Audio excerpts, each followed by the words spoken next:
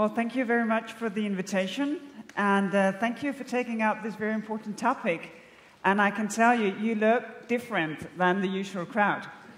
Uh, because uh, normally when I discuss this, I think the last time I did this was that uh, at the last ECOFIN when we finalized the deal on capital requirements. And in the same week, I was in the, the European Bank Federation, and they look rather different from you, I can tell you that. But, uh, but I think that basically there is the same interest in rebuilding, coming from very different sides and from a different analysis of the reasons uh, of the financial crisis. Uh, I think that rebuilding is a very good keyword to sort of get people together in a debate and a, and a sort of solution orientated uh, discussion about what actually to do. And uh, it's exactly right that I am the chair of, uh, of the Council of Ministers of Finance and Economics uh, right now. Unfortunately, the minute you get the hang of it, it's over. But I guess that's just the way a presidency is. Um, so, what I'm going to tell you is just a few remarks about the general picture, and then, of course, also to take you through some of the very concrete things that we've been deciding, because it is sort of a hands on task uh, to try to rebuild when it comes to financial sector. Uh, first of all, it is, uh, it's obvious that the financial and economic crisis was a, a game changer. It really changed also the mindsets and, and the way we, we looked at banks and states because it signaled a stop uh, or the end of a time when banks and the broader financial sector uh, could act as if there was no tomorrow. And it also signaled the end of a time where governments could act as if there were no tomorrow. And uh, much of what we have been doing at the EU level ever since uh, the crisis turned good times into bad has therefore been to, to rebuild of a common EU framework on economic policy and financial regulation. The goal being quite simple to ensure that we repair the ills of the current crisis and that we're better prepared for tomorrow. Because for a lot of my colleagues and for myself, of course, we have sort of uh, this uh, not only rational but also maybe some, some kind of sensation that we will do our utmost to make sure that the financial crisis 2008 will not uh, repeat itself. These two projects, better economic policy and financial regulation are uh, both uh, major parts of the EU strategy to exit from the economic crisis. Uh, the EU strategy also includes safeguarding, safeguarding uh, stability by, of course, uh, addressing and helping some of the most vulnerable countries, uh, that be Greece, Ireland, Portugal, and by assisting a return to, to normality for uh, the fragile financial system through stress testing, guarantees, recapitalization for European banks. Both doing that in a very specific way, but also working on it in a broader perspective.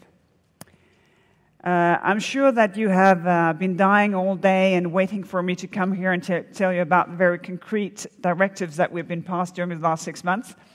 But, uh, and I won't disappoint you. Uh, but before we get there, uh, just a few remarks uh, about the wider uh, economic policy lessons from the crisis. Because this is not only a question of regulation, it's also a question of how do we look upon the financial sector and the role that it plays in relation to the rest of our economies. Uh, the crisis showed that many EU member states uh, although this is not only a EU phenomenon, uh, did not, in fact, have uh, public finances that were sufficient, uh, sufficiently sound, sufficiently sustainable. And that is uh, kind of a, a, paradox because we've had five, ten years' times of uh, very good economic times before the crisis. Very good economic times. Those of you who live here in Denmark know that we all got new kitchens. And when we finished that, we got new bathrooms. And then people started looking at their gardens uh, because it was very good times. But most member states did not reduce their public deficits, did not re reduce their debts radius uh, sufficiently. They were not prepared either for downturns, which could come uh, from lighting from the sky, or the more long term demographic, demographic challenges that everyone knew were coming. I guess that you all remember that before the crisis 2008, we were discussing what are we going to live from? Because we realized that Europe was an aging continent. There was a lot of talk about whether we should turn into kind of an open air museum, and you would be the guides of Asian tourists coming here to see the cradle of democracy before they went home to their uh, emerging and sparkling uh, economies back home to be the driving force that were never addressed in those days. And that, of course, also shows that there was sort of a general vulnerability in the dynamics of the European continent. Because we were not the most innovative continent. We were not the most sparkling places to go for new ideas. We had to rethink the way that we were doing things. Then came the financial crisis.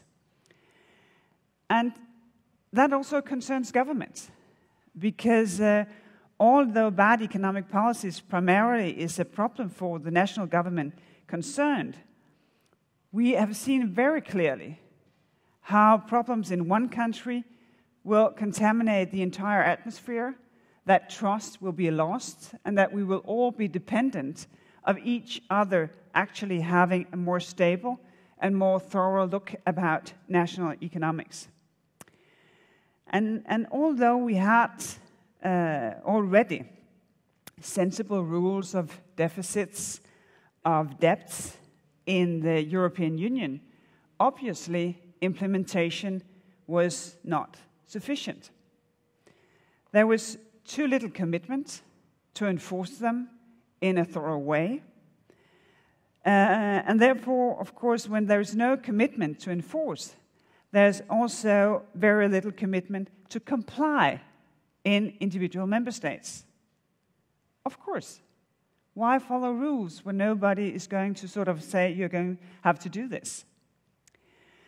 Therefore, we have agreed to strengthen and enforce rules much more efficiently and to make sure that they address problems previously overlooked, such as macroeconomic imbalances because some of the key figures that we were looking at before 2008, well, they looked pretty good.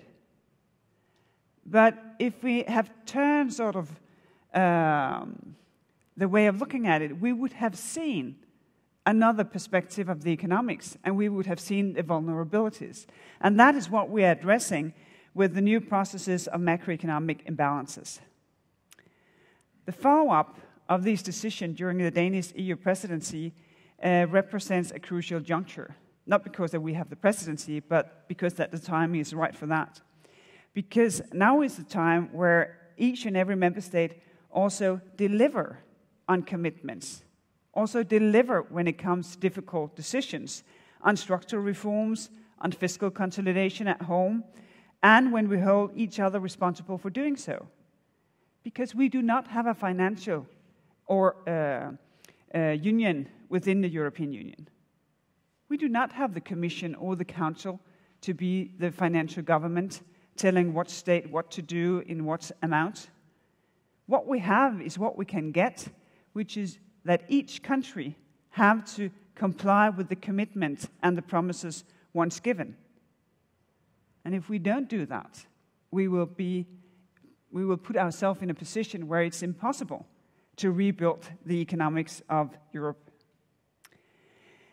But except from that, to have the ambition of uh, turning blueprints into reality, of course, we're doing something which is very concrete. Because the crisis also showed that there were very crucial flaws in the financial sectors. First of all, there was a, a widespread uh, underestimation and insufficient management of risks. And uh, this undoubtedly led to a system based on too much risk taking. And if you have a system based on risk taking, of course, what you get is a system which have a very strong instability inbuilt in the way that it's going to work. Uh, but not only did banks fail, authorities failed too. Insufficient regulation, insufficient uh, supervision also took part in creating the mess. So, no wonder that we not only lost in the real economy, we also lost trust.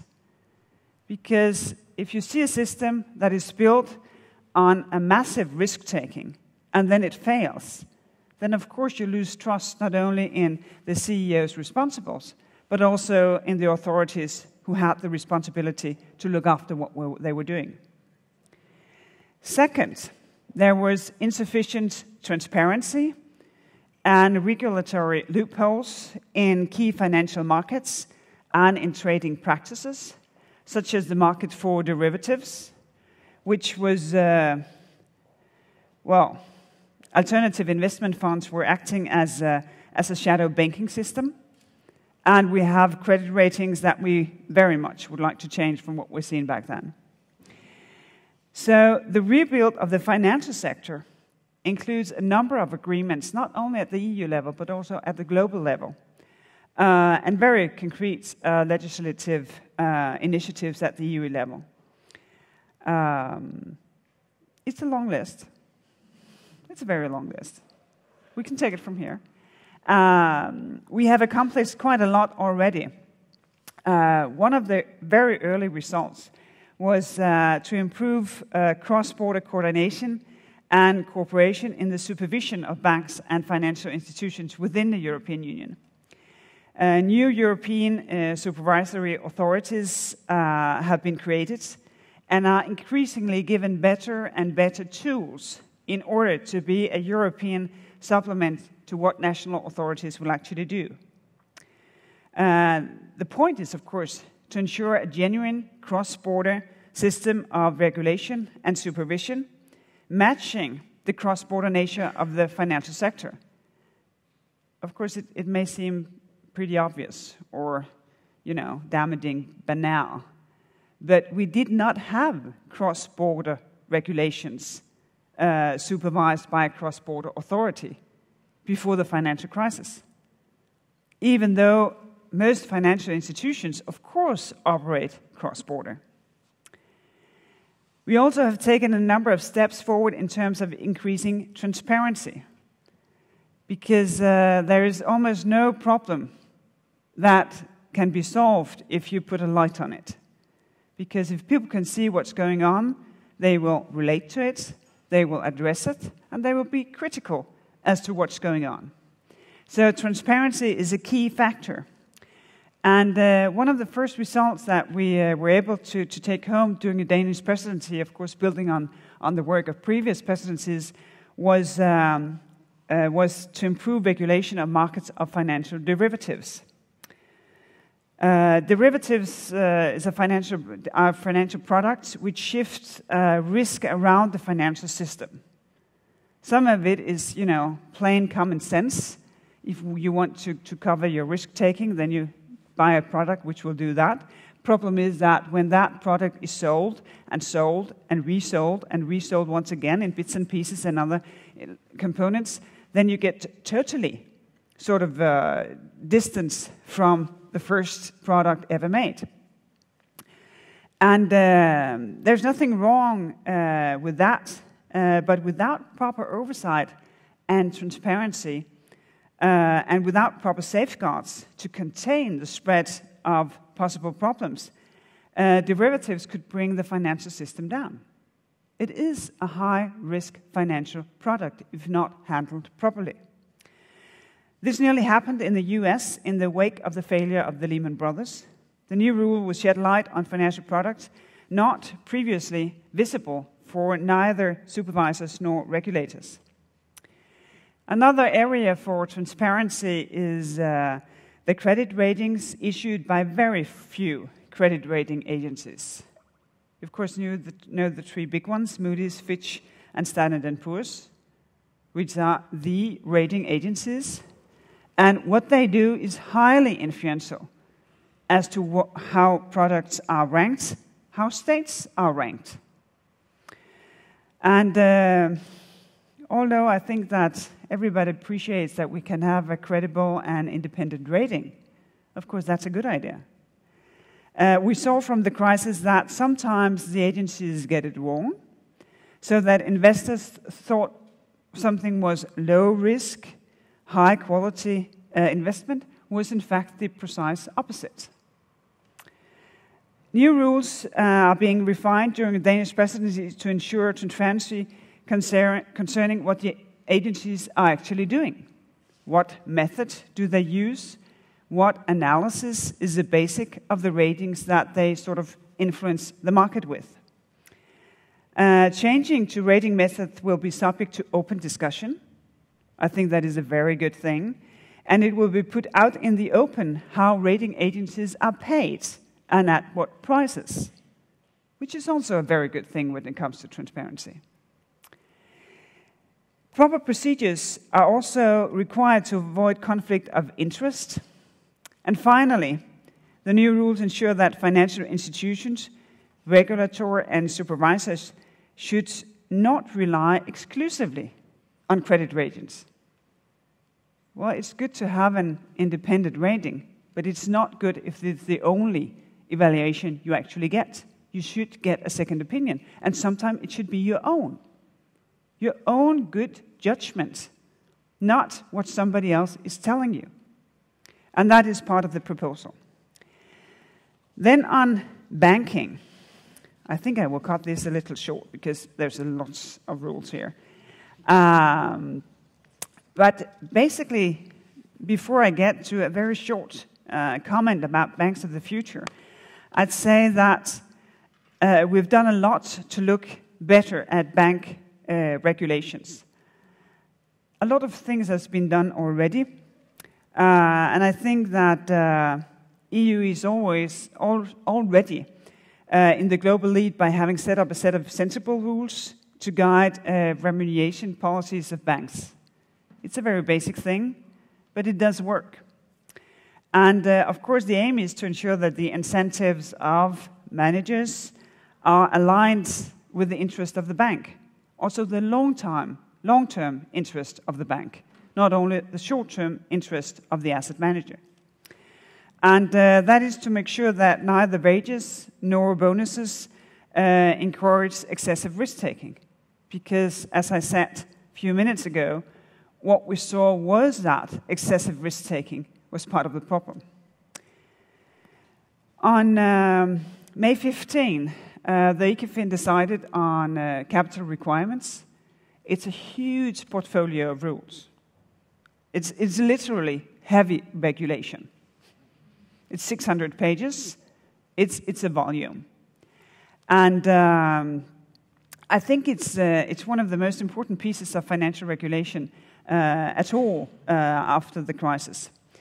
Uh, the proposal significantly increases the resilience of banks by requiring them to hold more and better quality to make sure that they uh, have a buffer against negative markets, uh, developments, and economic downturns. And uh, of course, it also requires them to have more liquidity. Because if the market freezes, as it did in 2008, and you don't have liquidity, for a week, for a fortnight, for 30 days, well, then you just, that's the end of it. So, more capital, better capital, and more liquidity are the cornerstones. The consequences of uh, insufficiently solid banks are, at best, that they stop to extend their credit to, credit to the real economy. And uh, that is the balance that we're going to hold. That on one hand, we want stable, solid banks by uh, asking them to have more capital. On the other hand, of course, we would like them to keep lending because the real economy, whatever enterprise you might uh, want to, to drive in Europe, you need to have a credit because that's the way we finance businesses in Europe. So that balance should be held at uh, any time. Actually, what we're trying to do is to rebuild banking to be counter cyclical rather than pro cyclical. Also, by saying that in good times you should make a buffer. And if you don't, well, then you can't pay neither bonuses nor dividends. Because you also have to have a balance, because you are handling a very, very sensible uh, thing in our economic system. Just, um, just a few more reflections on, uh, on transparency, also when it, because uh, transparency, as I told you about it before, also empowers consumers and investors. That is their main tool to see what's going on. And a number of other legislative uh, initiatives are underway to, to increase uh, transparency, also with an ethical dimension. Uh, the Danish presidency is working on both transparency directive regarding information requirement for companies listed on stock exchanges and the accounting directives applying to all companies listed or not. And the current debates about how to ensure ethical uh, investment uh, by pensions funds, uh, I guess that is uh, of your interest. That is a case in point. Uh, and the way uh, forward, at least in my opinion, is not for the regulatory and supervisors to micromanage. because um, we need to make sure that decisions in, in private uh, entities are made there and that you take responsibility for them there. But we have to make sure that those funds make necessary uh, critical judgment themselves on their investment decisions and that consumers and pension savers are provided with sufficient information so that they can do the same and say to whatever um, bank or investor who's handling uh, their money, if that's what you do with them, then I'm going to go somewhere else because that's not what I want to get done. Least but not uh, last, uh, almost literally, uh, we are working on uh, hoping to get uh, the Commission's proposal for bank resolution. Because we need to make sure, well, how to handle how to handle a situation when it's almost the end of it, when it's almost the end of a bank or a financial institution, then what to do. And from a very Danish perspective, we hope that uh, they look to Denmark and see how we handle it, because we actually have uh, the evaluation that we have moved things forward. In Denmark, uh, the bank guarantees and our rescue packages were bank financed. No taxpayer money put in there. I think that's a very healthy way of doing it also to make sure that there can be a bail-in, that those who own shares in the bank know that there is a risk of owning a share also in a bank, and that risk that they have to take that seriously. When I look at, uh, at banks in, in the years to come, and that would be my last remark, uh, it's obvious that banks and financial institutions plays a crucial role in making sure that businesses can have the capital that they need for growing, for expanding, for startups. And uh, of course, uh, that capital have to be also once in a while willing to take a little risk, because otherwise no business will ever grow if you won't take any risk at all. But that being said, I think it's also obvious that the many initiatives that we're taking, well, they have the goal of setting the financial sector back in its place in our societies and in our economies. And uh, also by their saying that we need to rebuild banking into something much safer and less uh, hazardous for the economy at large. Uh, and in short, maybe, I don't know if any of you have a dream of going there or have children who have a dream of being a banker, uh, but I think you should tell them that it's going to be a little boring. Not much, but, well, much more than it were. Because uh, banking is going to get back center states, solid, sound, boring, and taking risk in proper proportions with the transparency needed for consumers and customers in general to know what they're dealing with.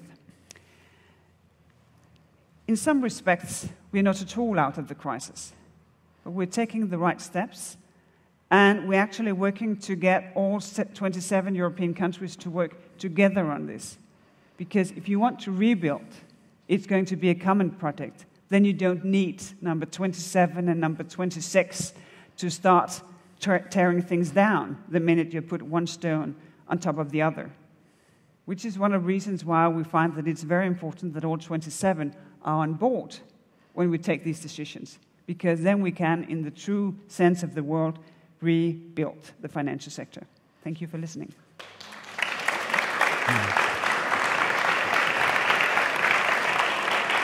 Am I on? Thank, thanks a lot, Margrethe. Uh, proposed by many of the international speakers today uh, was actually that uh, this notion of rebuilding and restoring is kind of like not the right idea. So I think I'm going to turn the E around to, uh, to maybe say, maybe we should start building the 21st century instead of rebuilding. No, that was a comment from, uh, from a lot of the uh, guys uh, before. I'm going to start with the pension investors. That is uh, close to my heart. Uh, Berlingske Tidende run a big story on, uh, on uh, government bonds in, in Africa. Uh, we have a system in Denmark that makes it impossible for 80% of uh, the Danish, Danish, pension savers to actually put up with anything but the CSR regulations of the pension operators. That means in many cases that you have Uh, your pension money in guns, girls, and gambling, and at least in half of these pension funds, you're not able to do anything about it today. So we, we challenged them and said, why are you not doing more? And they said, well, call Margrethe because uh, and the government regulates us, and we have to make a profit uh, on behalf of our customers. That's a very sound principle. But it's like we're stuck in a, uh, lack of innovation in the pension sector today at home. At least uh, that means that members of uh, PKA, one of the big pension funds, have no options that but letting their people stay, uh, let uh, the money stay in uh, weapons, for an example. That's nurses and doctors and healthcare uh, members, and many of them are annoyed about the situation. So, what can we do about inspiring them for a little more innovation? Maybe not regulating them, and maybe inspiring them from the political scene. Well, first of all, I, I, I still find it very, very, very difficult to understand that you cannot find a profitable investment outside weapons. It, it, it's a mystery. Um, second thing is that you need to enable people to, to know and to act. Because um, what we're doing here is, of course, to make sure that we can use the, the mechanisms of the markets by letting people move their money to where they want to go, uh, but to give them uh, information and, and a basis for taking that decision. Mm.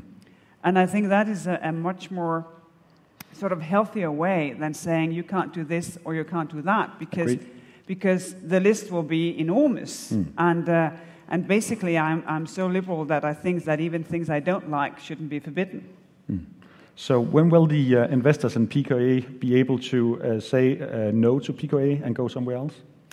Well, of course, that's a, that's a tricky question, and, and that's because uh, some of the rules for, for changing from one uh, pension company to another uh, is, uh, is tricky. That's one of the things that we're looking at because a lot of people feel that if they have their pension in one place, then it's, it's very difficult to move to somewhere else without paying huge amounts of money. Sometimes impossible. Sometimes impossible. Uh, but you know just as well as I do that part of, of pension fund is also labor market related. And there is a lot of very strong interest connected to that, not only from uh, labor market uh, or employees organization, but also from uh, employers organization, which is one of the reasons why it's tricky. Yeah. And it won't happen tomorrow. Yeah. But I think it will come. They're chairing all the pension funds in Denmark. Uh, yeah. Okay, uh, just uh, just a, a, issue here to, to raise in the political landscape because they're uh, they're kind of like pulling the ape to you and saying, well, it's the regulation it's wrong with. I don't agree totally with them, but maybe that's a good uh, political debate about inspiring them. Let's get back to um, the financial debate, and we'll take questions from the uh, audience in a minute. But uh, you touch upon uh, Moody and uh, some of these uh, credit ratings institutions. Um, I checked up on Lehman Brothers. Um, they had a debt to equity ratio of 1 to 33 before they got bankrupt, and they got a credit rating from Moody, which was, do you remember? Any of you saw the inside job? Yeah. Not AAA, though, AA plus. That's the second best credit rating. That was four days before their bankruptcy. So I researched into, as I mentioned uh, earlier on today, the debt to equity ratio of Danske Bank. It's 1 to 33. So uh, just a question, um, are we going to be able to bail out Danske Bank if they go bankruptcy caused by the uh, housing market decrease 15, 20%? Well, if, if that was a worry, I wouldn't be here. uh, then I would be doing something else.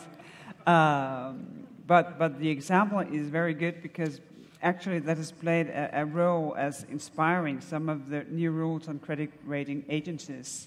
I think it have inspired credit rating agencies as well because a lot of them have changed the way that they work, the way that they handle things, uh, being much more, uh, I think, strict and thorough than they were. Uh, but what we, uh, we saw was that more regulation was needed. Mm. I think one of the, of the very unfortunate thing is that the market for credit rating is so limited. Mm. Uh, that we only have these uh, three uh, huge uh, bureaus, uh, which is really there. And therefore, I think it is very important that they public, uh, make public their methods and they make public their analysis. Mm. So that when a country, for instance, is downgraded, that they put forward their analysis so that it can be uh, debated. What was the reason why you did so? Did you have a bad day, or, yeah. or did you actually have something uh, sort of crucial uh, arguments for, for doing what, what so, you did? Sorry for teasing you, but could you imagine another system that would make uh, credit ratings that are funded by the very institution that they're credit rated, that they're credit rating? So Today, we see in, in, in, the Danish uh, bank sector that the ones who got a bad credit rating, well, they are just leaving the credit rating, so they won't pay anymore. Moody is financed by the banks that they are supposed to credit rate. I think that's why we are seeing some of these issues. So uh, I'm glad to hear that that stuff is happening, and I think uh, that's a major issue on the uh, on the uh, credit rating issue. Okay, we're going to switch a little bit. Umair Haque was live from London via Skype. And he said, and that's back to the rebuilding, he said, as long as we still follow um, GDP as a measure of growth in society, we're going to get stuck with the same models, uh, rebuilding banks the same way. So, what he proposed was actually what uh, Joseph Stiglitz and, and uh, a bunch of uh, great uh, economists did for Sarkozy and tried to crack what would be the new measure of, uh, of prosperity for uh, countries. So, uh, is any Danish initiatives happening uh, in kind of like tracking institutions in the direction of other things than GDP, uh, measuring happiness or well-being? Or there wasn't a European uh, debate, but where is it taken in Denmark, and uh, how is it going to affect, do you think, institutions of the future? Well, well we're, we're trying to find ways to make not to sort of dismiss the idea of, uh, of GDP totally, because that is one way of measuring uh, economic activity. It's not sufficient, but it is one way of doing that. So instead of just dismissing that, we say maybe we could do more. And, uh, and there is a work uh, within government, I think it is uh, the Minister of, uh, of Development Cooperation who's in, in charge of it, to see what can we do uh, to change the perspective once in a while and to make sure that we grasp uh, some of the other dimensions which is not measured in the GDP. Because, of course, you know that uh, GDP will grow if, uh, uh, knock on wood, uh, I'm driven down on my way from here and an ambulance will come and hospital will try to fix me up again. That is growth in a GDP way of measuring it. Not, not in my book, so, so there, is a, there is a work going on, and I think it's a very good uh, way of doing it. Hmm. Uh, also, something very banal things like asking people how do, how do they themselves see their quality of life? What do they feel is important? Because then you have more dimensions instead of just uh, taking one away and, and letting do with another, hmm. but trying to find more ways of, of looking at society. Yeah. I personally feel that this, the happiness index is a little bit awkward. Uh, mm. At least I, I, find it hard to believe that the Danes should be the most happy people in the world. They're the most satisfied. Uh, that's the, the notion. But um, if you look at worldwide, if you look at worldwide uh, uh, measurements of happiness, there seems to be a correlation when people are really poor and climb up the economical ladder. They get happier and happier. But at some point, it just decreases again or stabilizes. So, what we see in Latin America, for example, some of the happiest people in the world on every score that's worth measuring. Uh, without the economic growth and prosperity as the, the EU or China or stuff. And also, uh, Hicks said actually, we're going to do some, uh, or maybe it was my notion, we're going to do some reverse engineering because the Chinese and India is now actually leading the game on putting focus on these happiness or well being uh, issues. So I think maybe we're going to get inspired from them this time instead of the other way around. Well, I, I do hope so, because.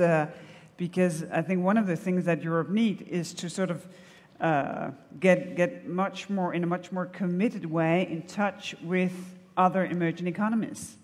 Because we need the inspiration, we need the sparkling, we need the new ways of thinking uh, about things, uh, because in, in some respect we seem to be so tired of ourselves.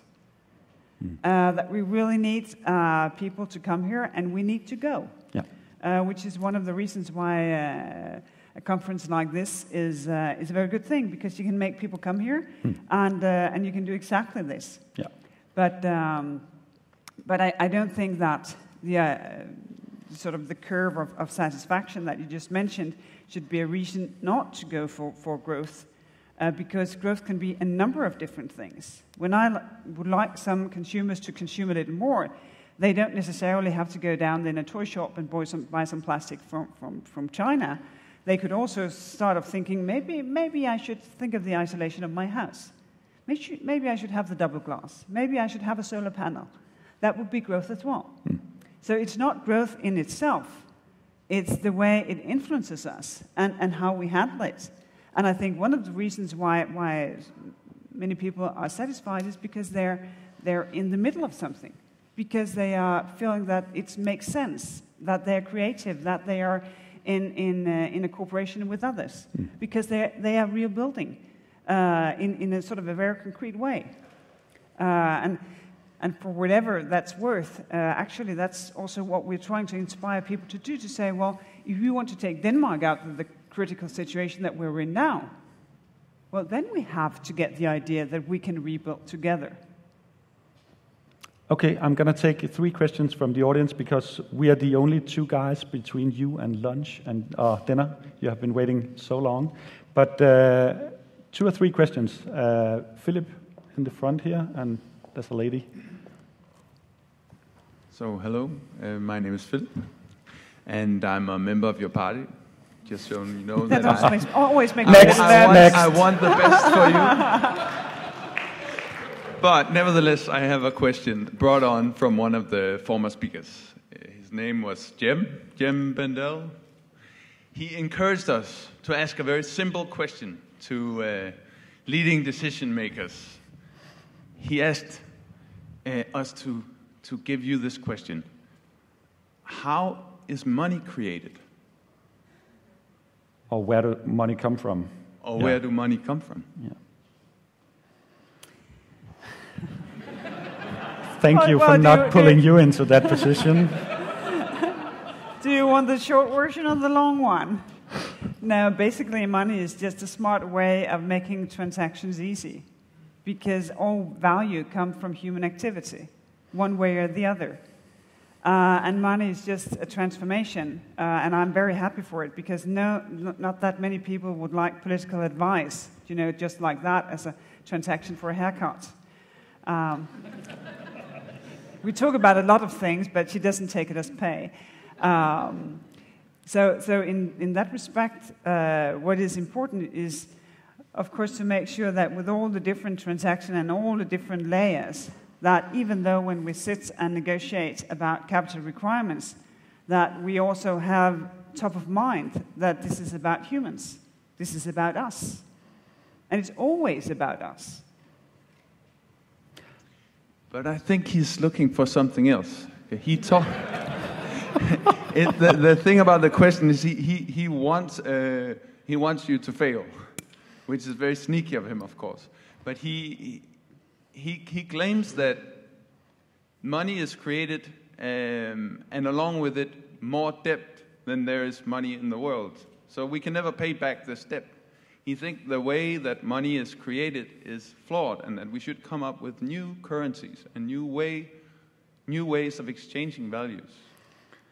Um, do you have any comments on, on the way that we create money today and what it does to our society? Yes, but, but basically, it's like you know a horror film where you're supposed the, the world to, to end tomorrow.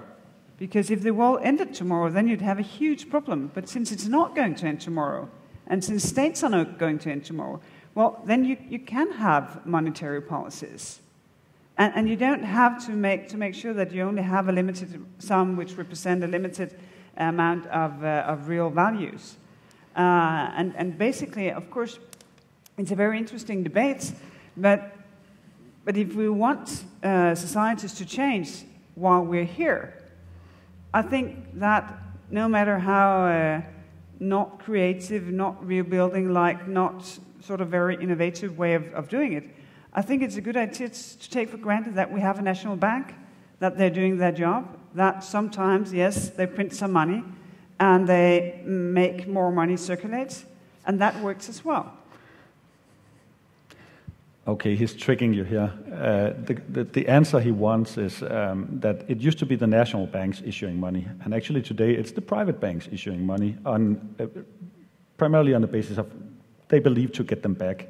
And that gets this 1 to 33 uh, debt to equity ratio out of uh, a trust in that these people are going to be, all of us, uh, loaners, are going to be able to pay it back. And he thinks we need some restrictions there. And he, he suggests community currencies and, and stuff. Let, let's have two more questions. This was a tricky one. Yeah. Well, I was pleased with the answers. Yeah.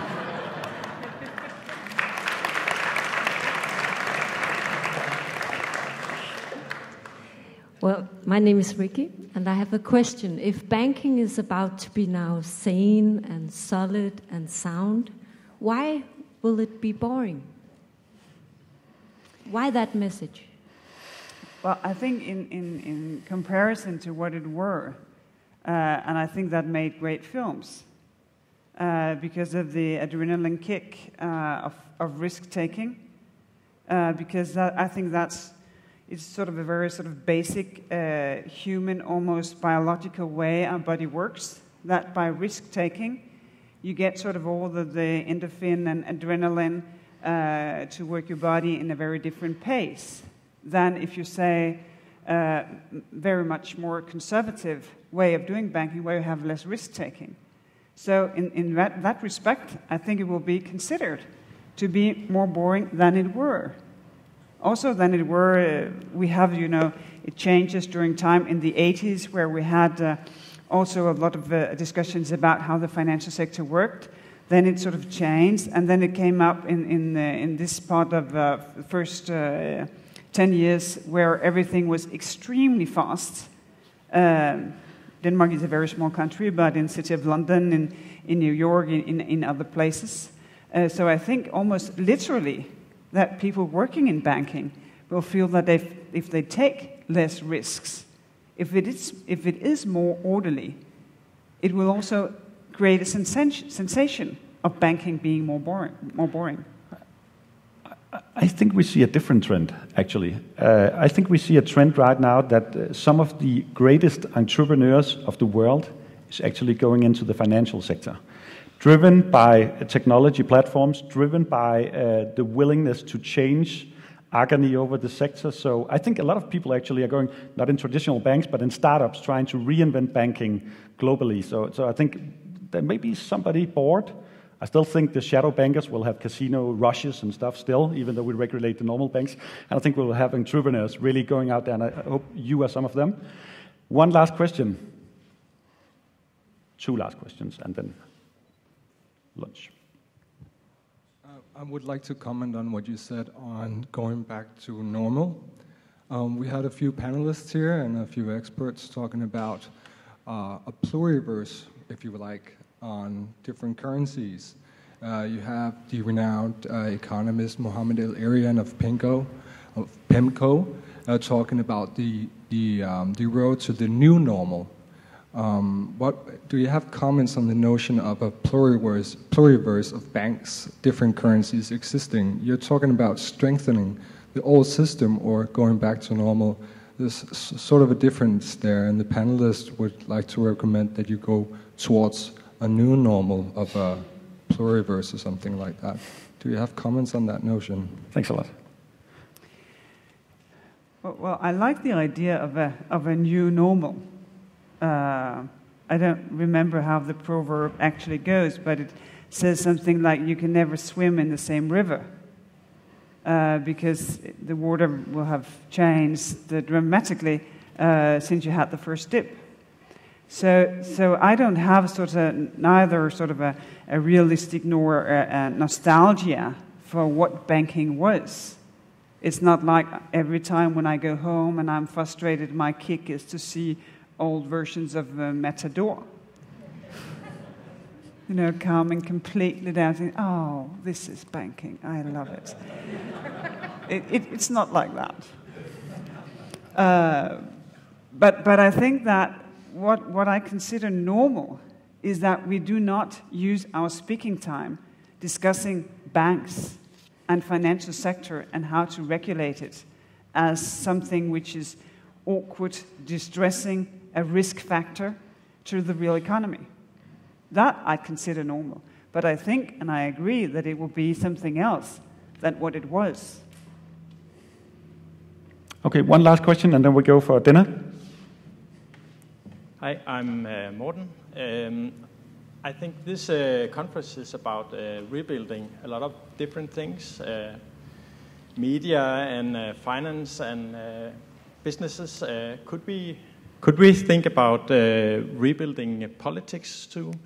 Um, I think that you have mentioned regulations a lot, and um, that's kind of a stick method punching the banks in the head when they do something wrong. Uh, would it be possible to uh, use all the power that uh, politicians have uh, in a more positive way, uh, setting out uh, goals and maybe some measures that would measure positive things that banks are doing instead of only using regulations, like a carrot method, a new way of thinking in politics? Well, in, in some respects, yes. But one of the reasons why I think that regulation is, is needed is that financial sector is also uh, having the privilege of administering uh, the monopoly of payments, which is, which is crucial. Because uh, if you can't use your credit cards uh, when you go out tonight, I hope you will spend a lot in Copenhagen, wonderful city. Um, well, then not slowly but surely, but instantly, it will break down. And, and since they, they uh, administer this monopoly of, of payments and, and having uh, the financial system work, I think regulation is needed. But I don't think that in, in general it will do the trick. Because as I experience it, uh, bankers and uh, employees in banks in general, they find their job as meaningful as I find mine some days at least. So, so in, in that respect, I, I totally get your point. Problem is that we are in, in a, a period of time where not only sensible regulation, but maybe also more sort of uh, feelings based regulation are being put on the table. And I usually say that uh, you should never invest your feelings in a bank. If you have money, go there, but feelings, invest them somewhere else because we will not have a better uh, new normal financial sector built on, on hate to a greedy uh, whatever financial sector. A lot of things have been said about the financial sector during the last four years. And, and not all of that uh, have the, the sort of um, the signature of the profile of, uh, of being sort of a carrot way of encouragement. On the contrary. So I think that a more realistic, more pragmatic uh, regulatory uh, uh, approach is what we need right now. And then when that's in place and we have a much more transparent system, then we can lift the gaze and say, well, maybe we can do something else. Also because there will be a different kind of competition from some of the startups that, uh, that Sofus just mentioned. Okay. I think we're going to wrap it up. I would love to continue the discussion, but we need to go for dinner. We're going to send you Jem Bendell's video and, and Umair Haque, and if you got uh, like uh, two times 18, 20 minutes instead of uh, going DR2, it's actually excellent inspiration. So we're going to do that. Thanks a lot, Margrethe, for being here. I know you're busy.